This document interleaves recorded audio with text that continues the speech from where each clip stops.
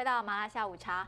当医生呢，可能是很多孩子们的心目中的梦想，更是许多家长们呢对他们的期许。但是呢，要能够上到医学院呢，却是一条不简单的路。我们今天呢，请到了万里法律教育集团的两位律师来到节目当中，为大家分析，如果你要准备要读这个医学院的话呢，你要做哪些准备？欢迎两位律师，你好你好好。那其实这个当医生呢，其实这个其实 CP 值不高哎、当投资投资报酬率其实。来讲，其实很辛苦，因为它这个是一个长期性的投资。但是很多我们不能不鼓励孩子们，如果他们真的有这样子的想法跟这个愿望哦，有这样子的志向，我们还是要鼓励他们。因为医生的愿景是要帮助人，是要救人，是，其实自己很辛苦的。是嗯是，所以呢，如果小孩子真的有那么慈悲之心要救人，嗯而且比如说他的脑子也是很适合，他的手也是很灵巧的话，我们当父母的当然是会鼓励，更何况医生是每一个父母的一个愿景。是啦，因为就是工作上是很稳定，虽然很辛苦，但是呢，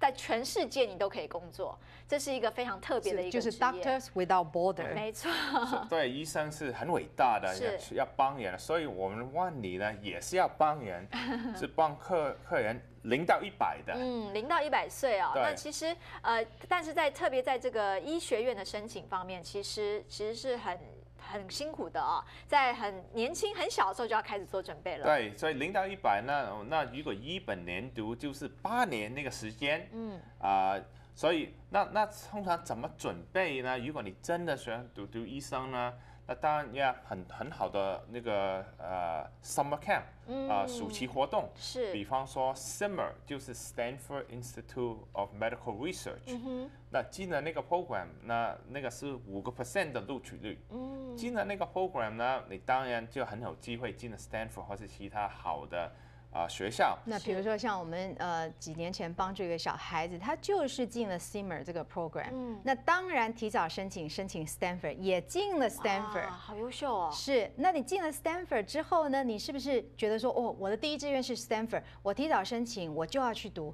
错了。哦后来呢，继续再申请 HYPS，另外再申请 Harvard、Princeton，还有 Yale，结果呢，Harvard 也收他了。哇 Guess what？他去哪里读？，Harvard 吗？去 Harvard 读。啊那后来呢？他是不是进 Harvard？他就要当医生？是啊。嗯可是问题是呢，今年毕业了，他是不是决定要当医生了？又改了又。改了。其实我觉得这个是很有可能的，这也是为什么这个医学院的这个系统哦，在这边跟亚洲是不一样的。就是说，这孩子们还在年轻的时候有这样子的想法，有这样的心愿是非常的好。那往这条路走也非常的 OK，那么也确实是很优秀。但是如果真的到了申请医学院这个关卡的时候，发现说，哎，我其实有别的选择，因为他可能眼界被打开了。他可能有别的志向，可能要去选类似的医疗的一些这个服务，但是不一定是做医科。但是呢，我们的小我们的家长还是很喜欢小孩子，在高中的时候嗯就知道我将来要当医生，我将来要当律师。那我们还是请梁律师跟我们分享看看，那高中的时候呢，小孩子要做什么才可以做一本连读？一本连读其实非常竞争的。那当然也呃，这个分数很好啊。你比方说，你 GPA 学校应该希望是 top one percent 在你的学校里面。那当然新新的 SAT，我想至少啊一千一一千五七百五七百五，嗯。啊 ACT 应该至少三十四吧，其实这个这个这是最基本的条这个名条件的。单清单一列下来，其实这个是 academic 就觉得压力很大嗯没有，就我们的小孩子 academic qualify 是没有什么问题的。嗯所以呢，这些是属于在硬条件的安排。那那当然还有一些软条件的，比如说呢，像我们有一个小孩他进了那个 Brown 的 p u m i 一本连读，他暑假做什么？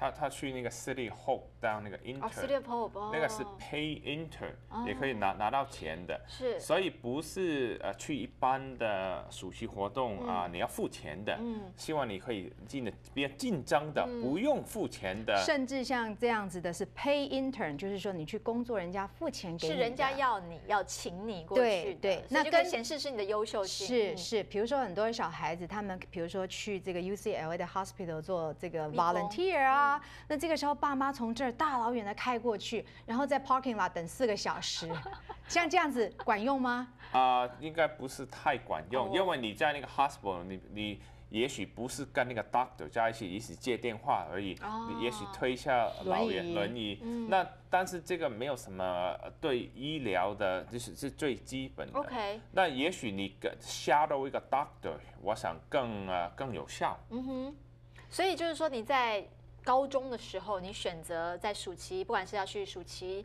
呃进修班也好，或者是要做这个义工，就说你要人家付钱给你的，对对对，那要申请的对，那是你也是要申请，所以也是有竞争性，但是可以显示出你对于走这条路的决心 persistent，还有嗯。够深、够远，嗯。然后够持久，这也是他们要看到的。所以这个一本连读其实是一个非常竞争的一条路，虽然是还是有有你想想看，一本连读的话，等于是你高中四年就要开始准备，是应该是一本连高中十二年的准备。哇，这个真的是十四岁就开始准备。长期抗战哦，是是是哦其实这个压力非常大啦，所以呢，我觉得这是一条路没有错。但是呢，如果说孩子呃真的要走这条路，当然我们是要全力支持、全力以赴。但是如果说他们也觉得说，我们还是可以从比较传统的这一条路，先念四年的大学，再来申请医学院，我们其实这也是对他们来讲也是有优点的。因为呢，如果说他们真的想要改变一个方式的话，其实是有机会的，不会觉得说一下子下太太大的一个赌注。对，这是一个赌注啊！这个其实孩子们都会在变的，所以呢，希望呢，这个希望孩子们念这个当医生的家长们呢，可以做一个这样子的参考。那我们稍微休息一会呢，等一下呢，我们继续回来跟大家谈谈财务上的一些规划，马上回来。